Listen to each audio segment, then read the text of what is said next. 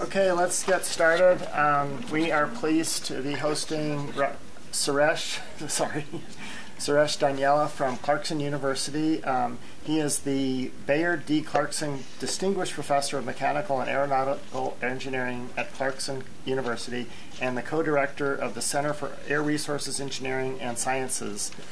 Um, his interests, research interests include development of novel aerosol sensing techniques, optoelectrical aerosol measurements, aerosol resuspension, atmospheric aerosol sampling and analysis, and computational fluid dynamic simulations. Um, he's a recipient of a, of a number of awards, including Clarkson's John W. Graham Jr. Award, NSF's Career Grant, and uh, a Fulbright Nehru Scholar. Uh, he did his PhD at the University of Minnesota with the Pol- uh, Particle Technology Laboratory, and then he did a postdoc at Caltech with Paul Wennberg. So I will let him take over from here. Thank you, John. right,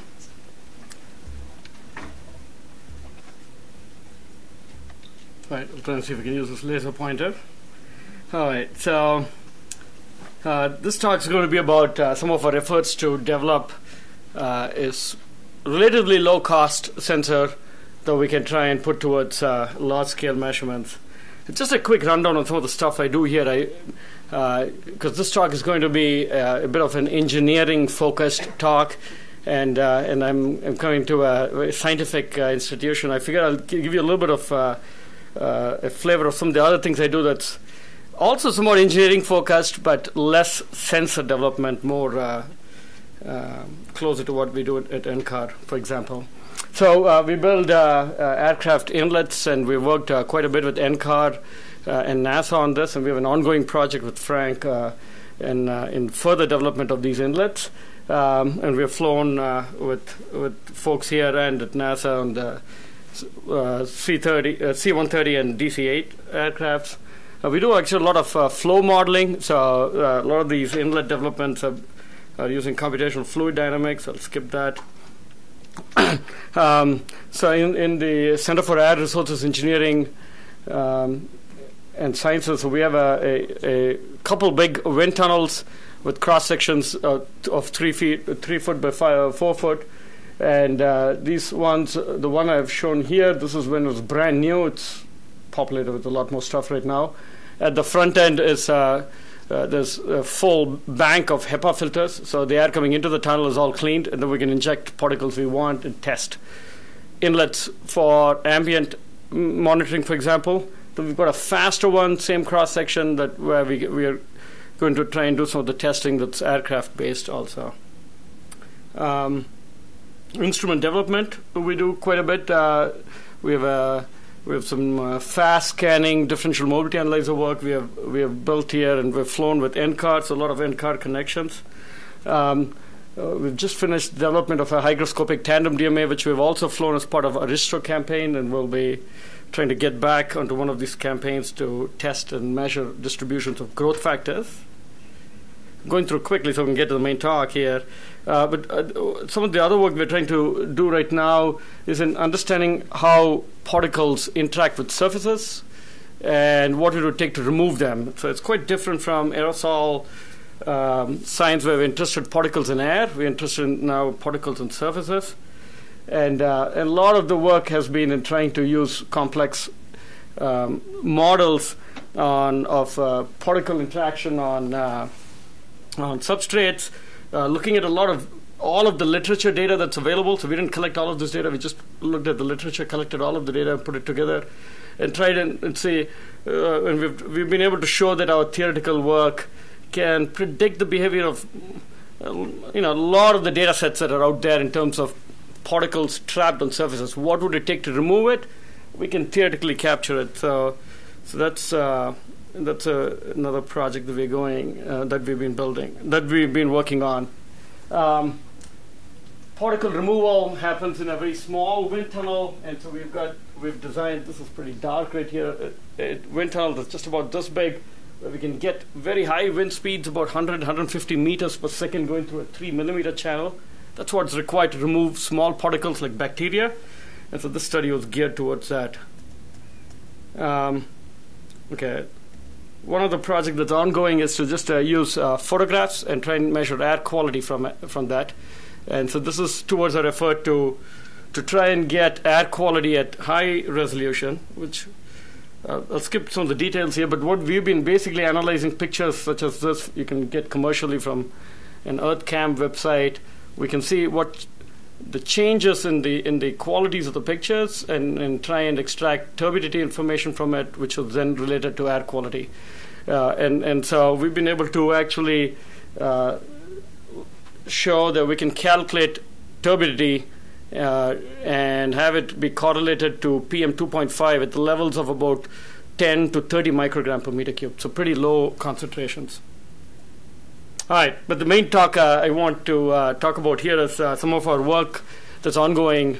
um, so this is ongoing work on sensor development, and our idea here is, you know, can we build something uh, that's focused not primarily on being more sensitive or more accurate or more uh, um, uh, resolution wise, um, you know, have a higher resolution, but be focused on giving us measurements that's appropriate from a, a air quality monitoring perspective, while at the same at the same time being something that can be deployed in large scale. So, meaning could be relatively compact in size, would be relatively low cost.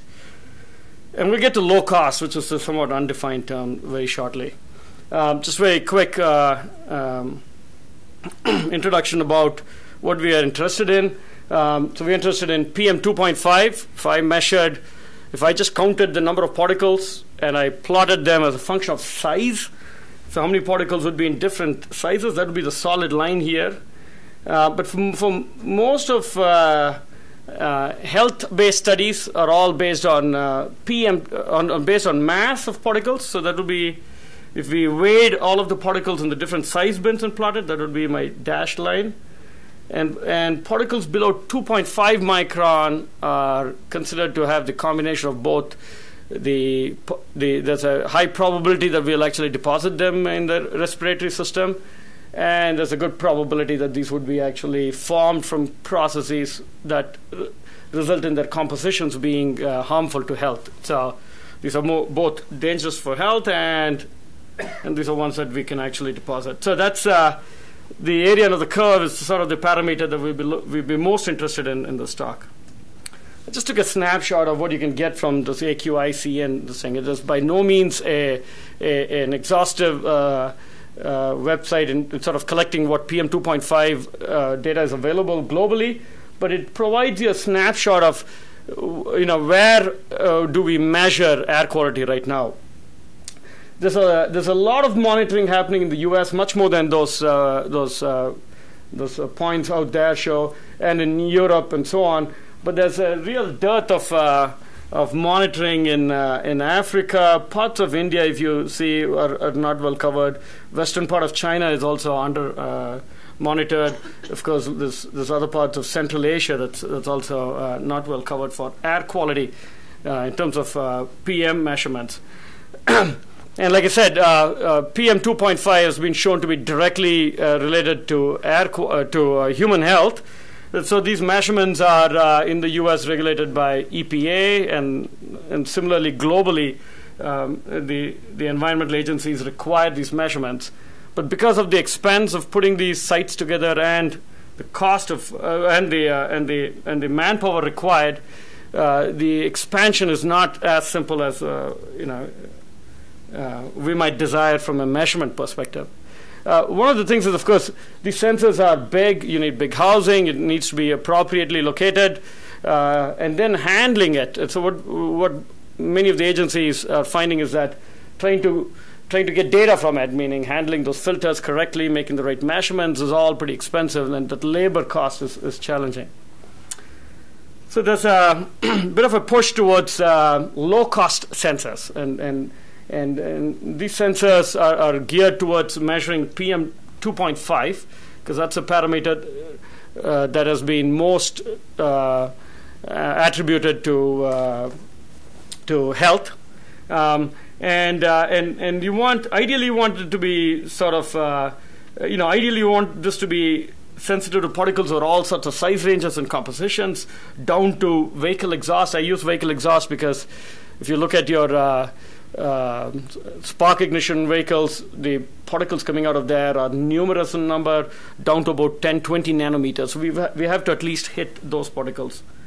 Um, and so, so what are the techniques that are available? So I'll just go through my in the in the next about 10 minutes or so. I'll talk about what exists for techniques and uh, and what the pitfalls are before I go to what we are proposing as our approach.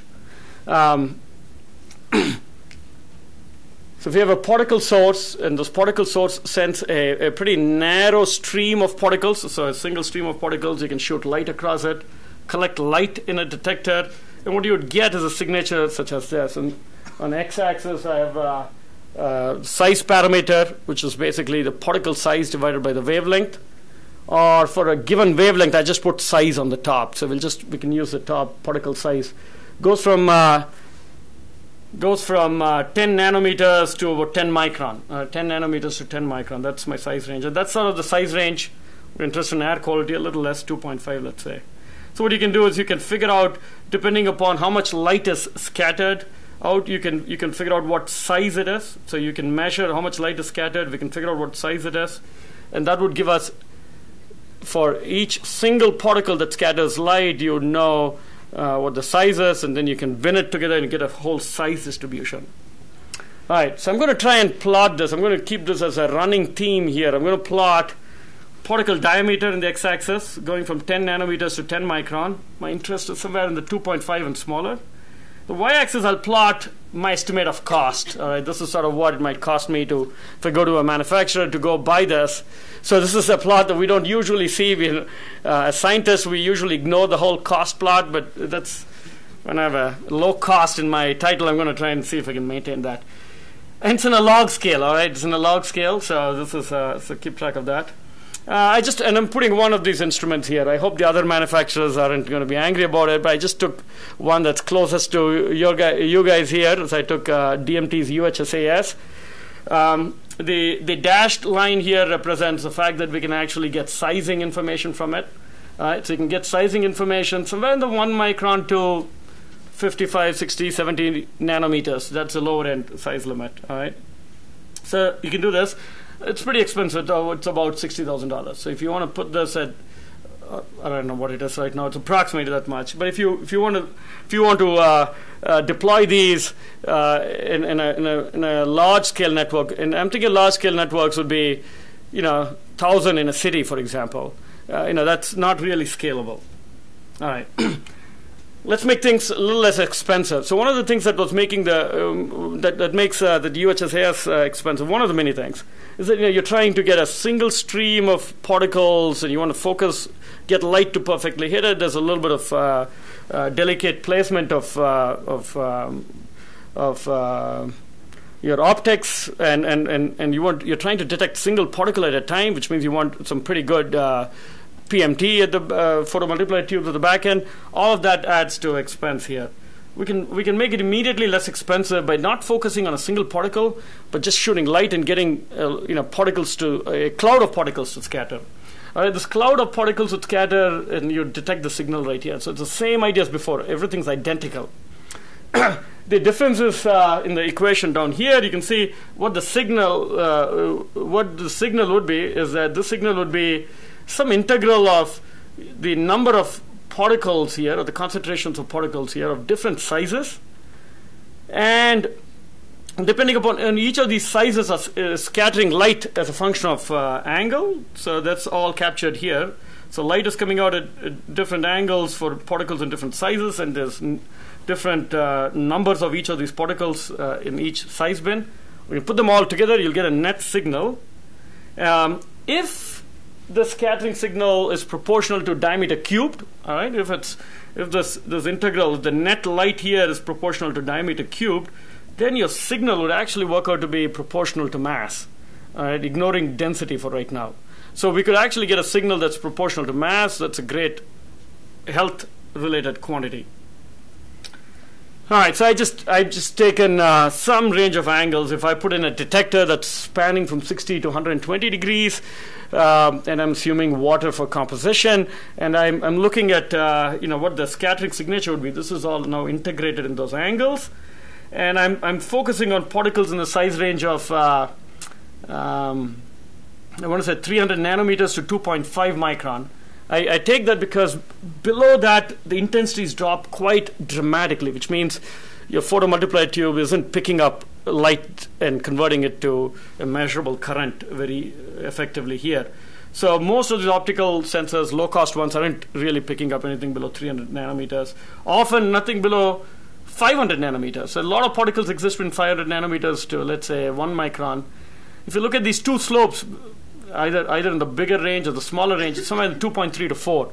Not quite 3. If the slope were 3, the signal, the net signal will be proportional to mass. So you could take those numbers and run with it. That would be your essentially your PM number. It would be great. We are pretty close, but we didn't quite hit it. Um, more importantly, if I changed, if I, the neat thing is I can change the the collection location. I, if I'm a design engineer, I might move it around. I might get a different slope, 2.4 to 3.1 and I, I, uh, the 3.1 is you know in the smaller range, 2.4 here. So two things. One is once you design, of course, that's fixed. But within that, if your particles are, num- are in some size range, they may be proportional to the third power in diameter, but but in some other regions they may be proportional to second power. So that's that's the reality. If I change the composition, the slope changes. All right. One other thing to note So uh, in here, I'm plotting two curves here. The blue is my mass distribution. So I'm assuming uh, water in this case, let's say water. Um, and then I'm, I'm then also predicting the scattering distribution. What is it, uh, you know, as a, as a function of particle size, what would be the scattering distribution? So the mass distribution is this blue line, but what the, what the um, the detectors measuring a cloud of particles would measure is the integral of the red line. All right. So what you're interested in is the integral of blue. What you're going to get is the integral of the red line. Small particles are not detected because they're just they don't scatter enough light, and big ones are you know overscattering. If I change from water to ammonium sulfate, same mean size and so on, you get a slightly different relation between the two. I go to carbon, I get a completely different relation. All right. The point I'm trying to make here is you cannot calibrate it. All right. You cannot you cannot just use a single calibration and say, let me get those areas to match so I can then work with it. You change compositions, the signatures changes completely, and, and, and that's a problem. It's known, but we're just trying to put it down here. Same thing, you take water, this, this goes back to the old plot. If I change the sizes, the relative uh, orientations change. If I have larger, if I have same, just single composition, if it just moves in the size bin, the relative shapes of those two, red and blue curve, will change. So you, even for a single composition, if you say, I'm dealing with a single aerosol, I just want to calibrate it with that, it won't work if its sizes are changing. All right, so so there is no way to just calibrate your way. You cannot just calibrate your way out of this problem. All right, you cannot calibrate your way out of this problem. All right, that's a problem. But what is the possibility here? All right, the, why why is this still why is this still of interest? It's still of interest because you can build these sensors for amazingly low cost. All right, I'm going to keep hitting this number low cost here quite a bit. So this is a, a, standard thing that's very popular out in the market right now. Shinyei, Samyoung, Sharp. I think something about SH you need to have, or S you need. These companies that start S are all building these these really neat uh, modules. Oops, wrong way. All right. So what what this is is just a small resistor that gets heated up, that pushes flow, and uh, and uh, that, you know that'll so you'll have air coming in, going out in its own random direction. You shoot light, and then you collect light, and then you get a signature that I've been talking about. All right. So this signature, of course, would depend upon size and composition and all of that. Calibration not possible. Having said that, you can go to the market right now, find these in different packages. That's a simple module, you, but you can put that, you can package it, and you can get all these sorts of numbers. You can get this in about I don't know, 20, 30 different models, flavors you want. All right, it's it's, it's impressively widespreadly available there. Uh, this is an old data set from uh, EPA. There's probably newer ones, but but here's the those four those four detectors, if you see how do they compare against EPA's PM 2.5 measurements with you know the FRM uh, measurement here. So they so the general picture is not always very good. Sometimes okay. Sometimes uh, not so much, and sometimes pretty bad, and other times differently. All right. So th- this is again, you know, they just take the sensors. They, they have a standard platform. They put this in so that uh, it it's shielded from sun and light and so on. Uh, sorry, um, sun and uh, rain and so on. And then you expose it to ambient PM, and then you see how things line up. And so the the the the, the picture to uh, look at is this. You know, sometimes they work great, um, sometimes not so much. But but uh, we don't have a firm story about it. But what we know is this: this is Shinyei costs between Shinyei, Samyoung, and so on. They cost anywhere from one to twenty-five dollars. All right. So remember, this not sixty thousand dollars, which was which was our UHSAS. It's it's this, this the unit itself is only about twenty-five dollars max, let's say. Uh, but I put this in a solid line because all you get is a single number. You get an integrated number. You get an integrated number. You don't quite get sizing, but you get an integrated mass or integrated scattering signature. Um, the lower size limit, all right, there is no, there is for these optical instruments that are doing a cloud of particles, there is no lower size limit. All right, there's no lower size limit because if you put enough of small particles, you will get a scattering signature that might be visible. But you will never have anything sufficiently numerous in number to get particles below about 400, 500 nanometers with these detectors. So these detectors are not going to see anything below 500 nanometers under typical circumstances. But if you, I don't know, if you extinguish a matchstick and put it there, it might briefly show you something because this is a lot of small particles. Upper size limit is undefined uh, because we don't know what gets through those uh, pores and so on, but it's claimed to be about four, or five micron and so on. You put the, you package it, you get this this low cost sensors I use, you know, I'm calling this low cost spectrometers. They have a typical cut size that depends upon their inlets that are again is nebulous, not quite PM 2.5. The lower cut size again 400, 700 nanometers, undefined. But that's what that's what you're uh, you're at. A much higher cost version of this would be a DustTrak at about ten thousand dollars. You can do again solid line means you just get a total area under the red curve, the scattering signatures, and these sensors are all uh, DustTrak has been ubiquitous in, uh, in, in indoor measurements and often reported as PM, of course. Uh, low cost sensors are now becoming widespread. Actually, I mean, it's in the, our community we are not quite used to it, but just recently in China, and you'll see that you know this is all being used everywhere. I'll actually show you a picture of how widespread this. Um, particles from air, diesel particles, wood combustion, all of these, you would either capture some fraction of it or you may not even see this at all in these sensors. All right, so why should we be either uh, excited about it or worried about it? All right, so this is this this is getting to a large scale deployment perspective here. Uh, in Chicago, uh, array of things. I don't know if you've heard about it. It's uh, it's becoming a big big deal with Argonne National Lab. They're going to be mapping a lot of parameters here. Not quite particles yet, but it's only I think a small step away. They're doing uh, other criteria, gas pollutants. And if you're worried about privacy, they are doing video and audio and so on, but in ways that apparently will will uh, smudge those signals so they, they won't be able to exactly e- eavesdrop on your conversation. Um, and the idea here is to is to is to just start collecting data and start understanding how different parameters affect each other. You might know how much traffic is going on, how that how that affects NOx levels, and so on. And they're being developed, you know, very small canisters um, that are putting, being put on lampposts. Um, in Beijing, um, right now, this is uh, an experiment. Well, this is something they've been doing for the last uh, three years, I think, from 2014. Uh, in collaboration with IBM, they have 1,500 sensors in just the city of Beijing, looking at all sorts of, uh, you know, parameters. But one of those would, is uh, is air quality, and air quality is measured with an optical sensor. And both in, in, in this one, um, it's, it's an optical particle sensor. And there are other such experiments where it's mostly these low-cost optical sensors.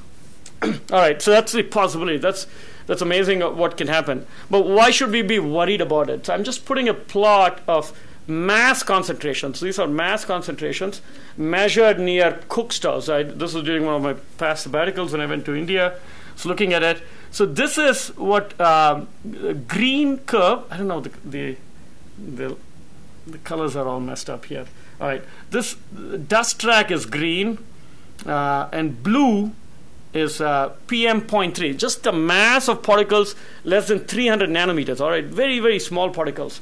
If you talk to air quality people, they'll say particles below 500 nanometers. There's no mass in that. All right, no mass in there. But you look at look at what we have. The mass of particles below 300 nanometers can sometimes be double the mass of particles greater than 300 nanometers. Remember, DustTrak barely sees anything below 300 nanometers. So small particles can sometimes be more numerous in mass than big particles.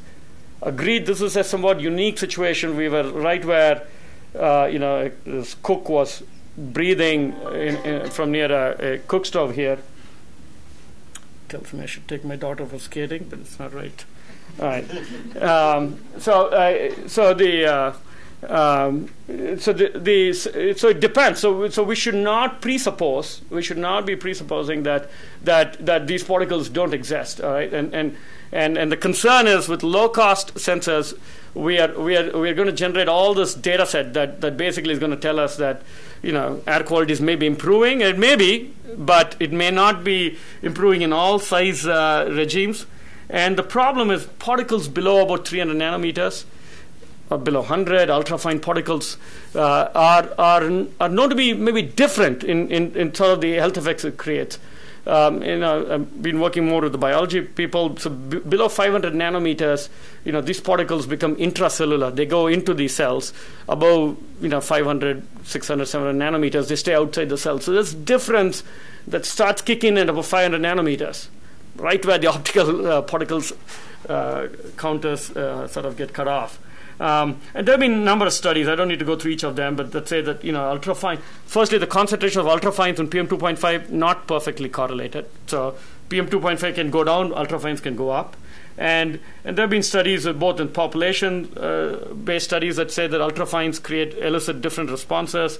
Uh, and Tony Wexler's group in Davis, they've been showing that you know, they collect particles from different sources with different size ranges and when they put these to mice, they have different uh, health impacts. So, so ultrafine particles have been shown to have a greater health impact for the same microgram, for the same unit uh, mass of particles injected to a, to a mouse. All right, so where does that get us? Um, so our focus is to try and use a technique that would uh, not uh, eliminate the contribution of these ultrafine particles. You know, can we actually make do low cost measurement and get to a broad size range uh, sensitivity here. So you know, we want to use electrical mobility. Uh, pardon me if this is uh, basic um, physics here, but if I put a charged particle in an electric field, it's going to be driven towards an oppositely charged electrode. Drag would pull it back, and the speed at which it travels is its electrical mobility. So, so el- electrical mobility is sort of related to how fast it goes. And electrical mobility is related only to the size. And you know, and, and there's a little bit of, there's a charge dependence and size. So if you have if you have one charge on a particle, uh, smaller particles will travel faster. That's it. So if you measure the velocity of the particle, we can measure the size of the particle. And uh, this is not a new measurement, all right? It's conventionally, uh, sorry, the, uh, oh yeah, just the, just a quick note: electrical mobility measurements. When we go below about half a micron, actually the velocities get to be significant. Um, and this is, you know, just ignore all the numbers. It just basically gets very significant. You can uh, particles move very fast in electric field if they're below about half a micron. All right. Um, this is a popular uh, uh, route for making aerosol measurements. So we can use a DMA, um, and and you can actually get, uh, um, you know, so if I if I uh, I don't know if any of these videos work. um, I guess I could switch here, but you know.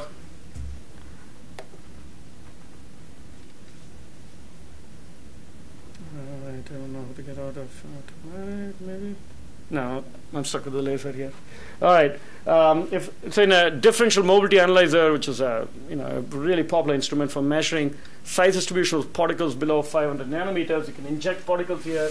By electrical mobility, by electric field, we can drive them out here, and depending on what electric field we apply, we can get particles of different sizes. Um, so that's a common instrument that's available. We can tap into already, get down to 10 nanometers. There's other other techniques where we don't need to sample flow. We can just collect particles onto electrodes and get real-time signatures. Both of these techniques are available, but they're they slot right up here in my cost to uh, size range plot. All right, so this goes back to so now this is getting out of my hundred thousand dollar regime also here. So none of these are going to be deployed in this broad size range uh, in the in the large scale for large scale deployment. Uh, but what they what, what they give is of course they give all this extra information. They give you very high size resolution, hence the finer line. Um, and uh, and and you can get to a you know you can almost get to a micron with that. It's pretty pretty neat.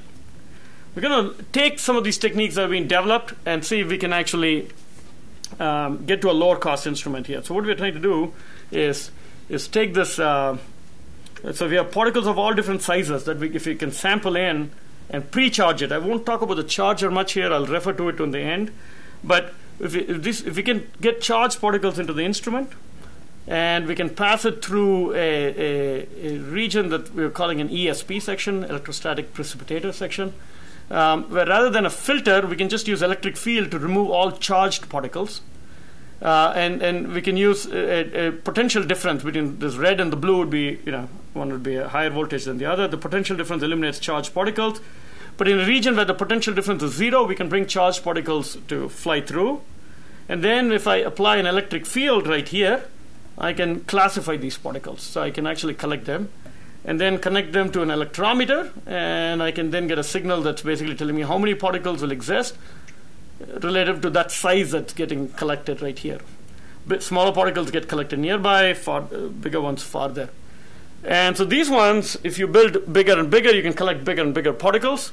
Um, but then the it, it, what what if I plotted in addition to cost, if I plotted size, one thing you'll also see is that when you get to low cost instruments, they also get smaller. And people also want smaller instruments because of you know a variety of uh, advantages in deploying it. So we want to keep the small. The way to keep it small but still get big sizes is we can shift where the particles are injected. So we can inject from up, down, whatever by changing the injection location. Um, uh, and, and, the final, the, the, electrometer signal that you get here will depend upon how many particles, how numerous are these particles in a given size range uh, what fraction of those particles are charged, we'll only be detecting charged particles.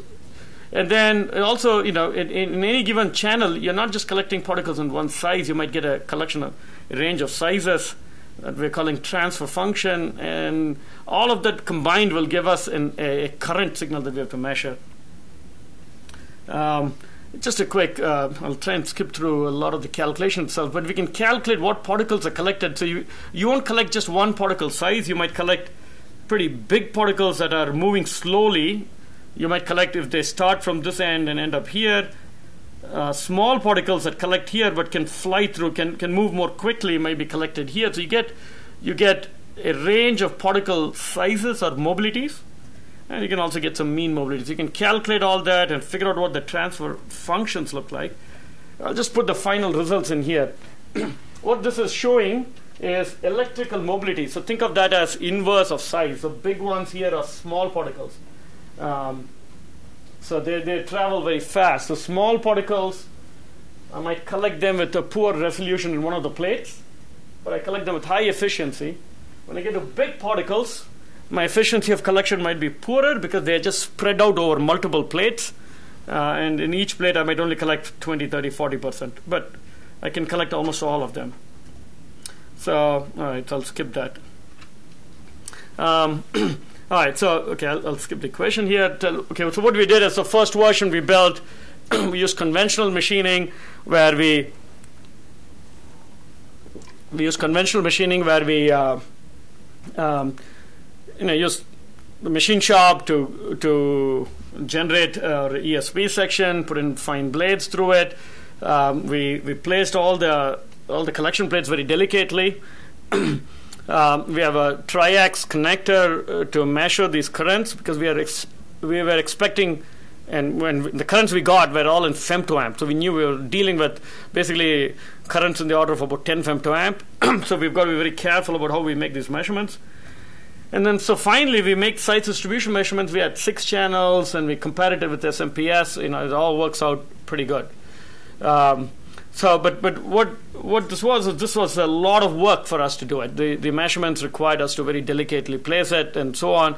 And if we have to do a large scale uh, uh, deployment, you know, means can we can we do this? I don't know, hundreds. Uh, let's just say even building hundred of these units would be would be would be extremely challenging. And so in the end, it's you know the electrometer we used was a Keithley electrometer or a source meter. We used a couple different ones. They cost about seven to eight thousand dollars themselves, uh, and there are other components in there. All pushes up to you know, maybe twenty thousand dollars. Lower cost, but not quite, and the size was also somewhat limited in, in the first version we tested. so the things we need to improve is, you know, can we can we get rid of the Keithley electrometer? It's a super good, fantastic uh, piece of uh, uh, instrument, but uh, but not not conducive for for low cost measurement. So, so can we build our own? Uh, and, and so a lot of the uh, electrometer development in an, from an aerosol measurements uh, has been with a, within a Faraday cup collector uh, perspective, where we just want you you want you know aerosol to pass through, and then you measure it by touching the outside metal casing, and then you can measure down to 0.1 femtoamp, not without too much difficulty. So we want to get we, that won't work for us. I'll show you why. And then fabric. um, uh, displacement of collection plates and so on problematic. We want to get rid of that too. All right, so so what we want to do, and maybe I'll skip the talk here and just get to the point. Um, so the, the, the, the, so so you know so we got rid of all the machine dealing with the uh, machine shop folks to just uh, you know 3D printing it. That was the easy part. Um, for collection, so what we did is moved out of collecting into individual carefully placed plates to we started exploring the whole uh, PCB option. So you know we use FR4 material, which is not the best of materials for uh, for uh, for low current measurement, but we said let's give it a shot. And on the back side, uh, so that's a collection. and and now rather than rather than get to uh, triax connectors that very carefully connect to it, we just put the electrometer right behind it. So we got a sim a single uh, plate with collectors on one side and the electrometers printed on one side. So all of this is now done in a single plate. And so there's a lot of circuitry details I'll skip. And, and, and so, so now the question is how well does it work? So now you're, you're, you're trying to measure femtoamps right across 10,000 volts. Uh, all right. So, so any small fluctuations in it will all be recorded. So how well can we do? So we put particles through it. um, uh, and then we can, okay, let me skip through all these ones. I get to what we get for results. All right, so what, what we get for results is so we can send particles of different sizes continuously. So we're varying particles of different sizes.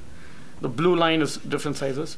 And what we can find is that, you know, as uh, you know, as we were expecting, we were able to get signals. This is all pretty high signals, 10 to 30 femtoamp, which is which is good. So we don't quite, we can't quite. We've got a lot of noise in the sub 4, 5 femtoamp, but we can get uh, you know out to out in the 30 femtoamp.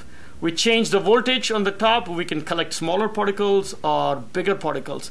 This is the first test to see, you know, can we actually print these electrometers and can get a signal responsive to it. Um, okay, that's that's just saying you know things work, but but can we actually model it and say exactly what sizes are being captured? So in here we are changing particle size continuously in upstream DMA, and we are expecting particles of of a particular set of sizes to be captured with these efficiencies. That was the theory line. And what we're seeing is that the signal did sort of go up and down as expected. All right, so this was the first test to suggest that a new electrometer actually does, uh, um, the new, the whole printed design does work, and so on. All right, so so we know the the rest of the things work, and when you can print it, what that does is it still brings it down to about only about three to five thousand dollars because each of those electrometers, it turns out the single biggest, there's two big costs here. High voltage is about $500, small, cheap one.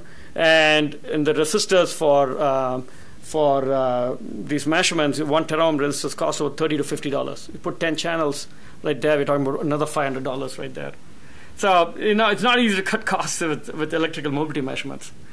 So as a final thing, what we want to do is people are not interested in size distribution measurements from a health perspective. They want one single number, PM. All right, so can we just get to it so we don't need all those seven, ten channels or whatever we want. So what we want is collect all particles, get them onto a single plate, and get a signal from it that's that's uh, you know maybe uh, directly proportional to mass. The signal is a complicated relationship that depends upon how much these particles are charged, what fractions are collected, and all that. And if you collect it on a on a rectangular plate, you'll get a signal that doesn't directly tell you what it is. You, if the particles are charged more, you'll get a bigger signal and then, then, the, then corresponding to these particles. So what, what we're proposing, what we want to do is shape the plate where we collect particles of different sizes with different efficiencies. So, you, you, so the particles that are maybe charged more efficiently, you may want to collect them less efficiently to negate the particles that are charged less efficiently. So you can then get uh, your, your, your net signal gets a little more complicated, the math gets a little more complicated, and you get a transfer function. The, the collection efficiency becomes uh, size dependent and shape dependent. All right, again, I'm skipping all the math because the math is boring. Um, all right, but but the point I want to make is this: the the, the shape dependent collection. Uh, if I if I shape the plate, I can make it be more sensitive to some particles or less. If I shape it such that I get a net dp to the zero power dependence, all right, I plug that in, what I'll get is an integral that's in number concentration. That means I can put all 10 nanometer particles, I can put all 100 nanometer particles, I will get the same signal if they have got the same number of particles. It is not size dependent. That'll be like your CPC if you've used. So it'll be just dependent upon uh, the number of particles, not on the size. If I make the shape diameter cube dependence, I can then get I can then get uh, a mass or a volume uh, relation. All right, so so how well does this work? So, so just to note, in general, if you use a diffusion charger, smaller particles are charged less efficiently than bigger particles. And the collection efficiency is almost entirely one if I just have a big plate. Um, so I would want to collect fewer bigger particles, more small particles if I want to get a signal that's insensitive to size. That means I get a number concentration. All right. To get a number concentration, I would want to collect a lot of. I, I want a big area. This area between the two blue lines is my area of the plate I would want to design. So if I have a, a plate that's very wide here, small particles, the flow is going left to right. Small particles are collected very close to the entrance, and they'll be collected in a big area as the particles uh, travel farther, you get bigger particles being collected, and I give it smaller and smaller areas for collection. For mass, I would want to collect bigger I, because I want I want to be sensitive to the third power and diameter. Uh, I would want to uh, you know I want to have a bigger collector here. I, I, for charging here, I assumed a corona charging because if you don't have a corona charging, the area required becomes quite brutal with uh, for you know big particles. Uh, for corona charging, uh, you can charge big particles much more efficiently than small particles. Uh, you can get uh, it's about a diameter to the between one and two, so you can get nearly a diameter square dependence, but maybe one and a half is a good estimate. I, I used only a linear one, so we could do much better than this for shape. All right, so that's all theory. theory. How well does this work? So in our in our test so far, that's all we have done is we've said, okay, can we create a, a collection that is independent of size? Can we just get total number, right? Not mass initially. We just want a total number. So what we have done is, so we've we shaped the plate. That's this one right here. This shape looks a little more complicated than this blue. That's because the blue lines are calculated assuming particles are all starting from one spot and landing in one spot. They start from a range of spots and they land in range of range of lengths. So, so 30 nanometer particles will not just collect here, but they'll collect somewhere in this range. So that messes up calculations a little bit. The math is a little more messy, and the plate is um, a little messy. It's the central part of the plate that's that's collecting and giving you a signal. And so then we we should have switched the axes here. The particle collection, I we, we concentration, so we we can tweak in our experimental setup, we can put particles at different concentrations, put more or less of particles. Uh, and then we, we can measure the, the uh, electrometer signal. And uh, I'm showing two quantities here. The open symbols are total concentration. So if I inject these particles, the area under the curve is your open symbol. And uh, the closed symbols are just the area under the curve between in a targeted size range. So we, we said we'd collect these particles, we shaped it such that we'd get a total number in a certain size range from here to here. And the black spots are the, are the total, uh, are the, uh, uh, is, is the area under this curve. So what we find is, you know, here's for example, two cases. In here, the total concentration, the area here are both the same. That's okay. It's not not very interesting. In here, the total area is is you know is quite significant, uh, but we're only targeting this the size range right in here, and our signal was actually quite proportional to that. So the bottom line is we can shape these plates and get signals that are actually um, proportional. Uh, we've, we're, the work on mass, uh, on trying to get the diameter cubed is just ongoing, so I don't have the data on that. But what I've, what I've taken is I've taken the liberty of trying to sort of put this all together, all right? So I'm towards the end of the talk here. And what I, what I want to uh, uh show here is uh, what does this mean for measurements, all right? So we put all these numbers up and so on. So, you know, does this we've talked about low cost. I just want to get back to what's really important, which is you know what can we measure, um, uh, and, and, with the low cost sensors. And I just took an you know a, a representative optical spectrometer. I said it's, uh, it can measure so many you know currents no lower than one picoamp or whatever. And I said, what can it measure in terms of mass? If all the particles were of one size, let's say one micron, a typical low cost sensor can measure about 10 microgram per meter cubed. Uh, it's a little less uh, at about 400, 500 nanometers. It can measure actually. It's more sensitive to these particles. But uh, below, you know, below about uh, 200, 300 nanometers, it becomes.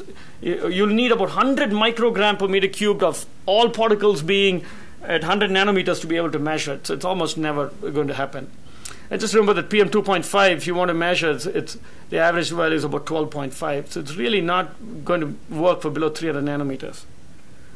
If you use a, if, we use our what I'm calling the tailored electrode concentration sensor for mass, um, small particles we can detect down to 0.1 microgram per meter cube just using a diffusion charger. That's your Krypton 85, for example.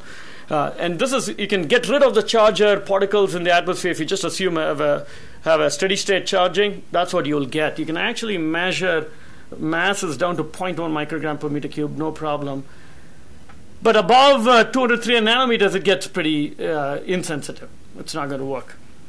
If we use a corona charger, we can actually get super sensitive at small particles, but more, most, more interestingly, we can get to about one micron, the entire size range, we can measure the single instrument, we can measure mass that's sensitive. This, of course, is, is just taking some of the validations that we have provided with the number concentration showing the, the, the theory works. We just need to reshape the plate. But, but the bottom line is it's going to, it, for anything below what low cost measurements cannot make, we can make. And the idea here is my, my thoughts going, sorry, my thoughts going forward is that we would want to put techniques such as these. You'd want to put two techniques, optical and electrical, let's say. You put that in a single enclosure. And if they tell you the same story, all right, if they tell you the same story that this is what's happening to the particles, we're going to be able to believe it a little better because there's two different techniques. There's the biases are going to be different. The the uh, artifacts are going to be different. There's no reason why they, you, you'd have the same story from it. So they could they could both be wrong. All right, it is it is statistically possible that they both be wrong, but it is less likely than than you know th- them both being correct. I, is how I look at it. But you know I could be wrong statistically. Yes. Um, but but I, but I think the other way to do it is you do use don't use one low cost detector, low cost sensor. Use two or three different ones. All right. So this whole thing about low cost sensing is not about putting your faith in a single one, but I think if you put a faith in a combination of these, there is actually I think a potential for getting good quality data. Um, and and so different techniques, and I think I think this sort of approach might be required for gas phase sensing and so on, and, and people are doing it. It's not not entirely our ideas here. Um, so what, what does it mean in terms of cost? Cost is different. I'm, not, I'm assuming my hourly rate is zero. My students cost nothing, which is probably okay, right? I mean, Mike. uh, so, so, so, so you got to watch it. This is just components here, and, and what we're able to do is you know bring it down to below about thousand dollars because it's just the, the uh, high voltage. We have tried ways to cut costs on it. It's not going to happen, and overall, it might work out to be two two thousand dollars. It's not getting to quite where low cost sensors are, and we've talked to a lot of people of what their idea of low cost sensors are, is and and it's it it's, seems surprisingly that the number is somewhere between 200 to 500 dollars. That's what people want because you can you, you, can then go for some more ubiquitous sensing. So so, uh, but what we want to focus on is the fact that we are we are actually chopping off about an order of magnitude in, in terms of cost, maybe even two orders of magnitude, because we can start doing sizing in, in the order of about thousand dollars rather than hundred thousand dollars.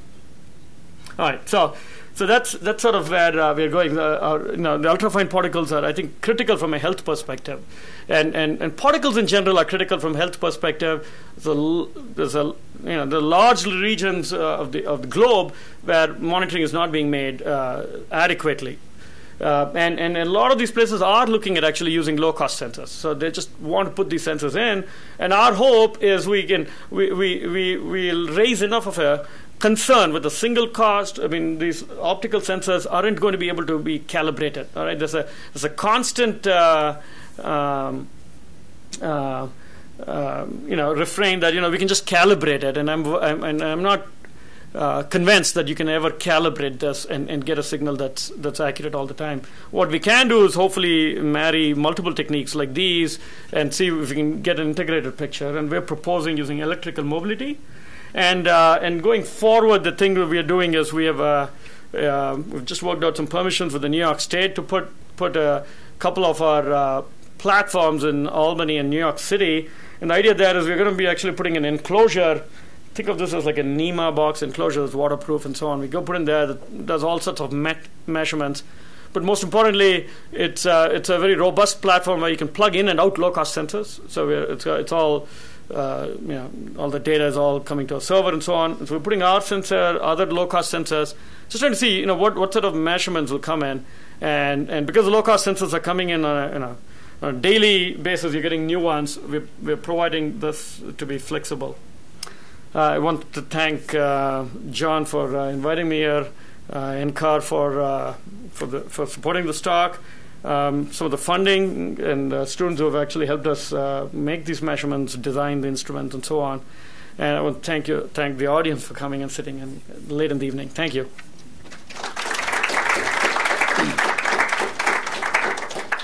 I guess questions.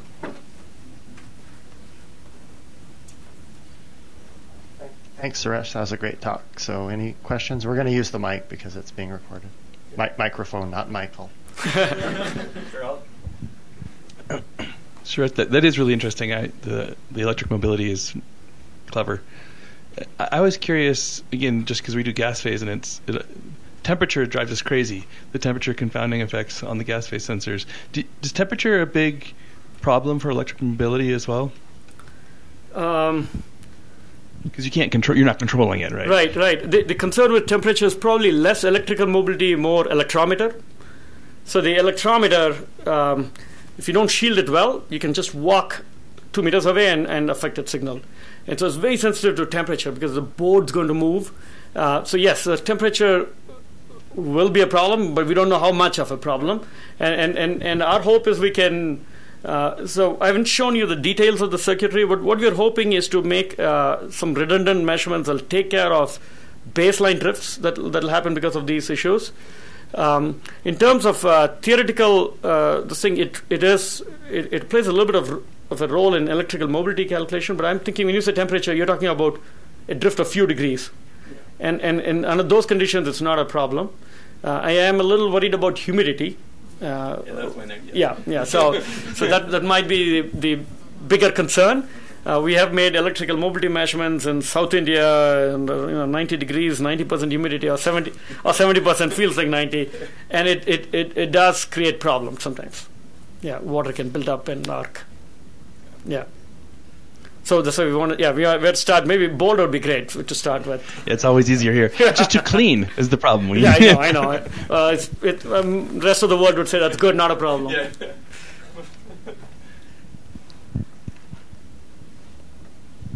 Any more questions? Hi. In your designing of the shape of the collector yeah. plates, yeah. you're um, making the assumption that, of course, we all make that all the aerosols are spherical. So, um, given that not all aerosols are spherical, do you trust the number concentration measurement more or the mass? Or do you think it's going to be affected in the same way? All right. So so shape impacts electrical mobility, right? So when we measure electrical mobility diameter, there are spherical equivalent electrical mobility diameter. Um, the impact on number is going to be less than probably on mass, and uh, and yeah. So I think I think the shape dependence on mass for electrical mobility, you know, within a DMA perspective, does work, right? Uh, where you're actually doing size classified measurements. When you have no size classified measurements and you have no knowledge of particles, I think my, my guess is it's going to impact mass significantly. It's going to have some impact on mass, and I think it's uh, impossible to correct. Yeah. Yeah, and th- this is where it comes back to having multiple measurements because it, it's going to impact optical measurements, going to impact this, and it, I'm thinking, you know, again, yeah. So, so let's say the numbers match. Well, you can say we are dealing with somewhat spherical ammonium sulfate kind of sphericity particles. When you go farther, you know you're dealing with at least some. So at least you know. Okay, ignore both the results, maybe, right? So, so the nice thing about having two te- techniques, when they don't match, the best thing you can do is throw them both out, even if one of them is correct. But you'll have so many measurements it won't matter. It won't matter exactly, exactly. If there's 1,500 in the city and they're made every second, hopefully, You lose half your data. yeah. past. But you know how data works; they'll always be here, and yeah.